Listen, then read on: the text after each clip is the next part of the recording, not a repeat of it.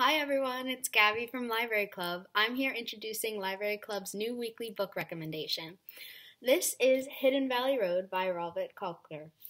a story about an American family of 12 struggling with schizophrenia. While you learn about the personal story of the family, you also learn how one family helped to change the medical understanding behind schizophrenia. It's a book diving into mental illness and how families stick together through thick and thin. I absolutely recommend it, and I hope you have fun reading it.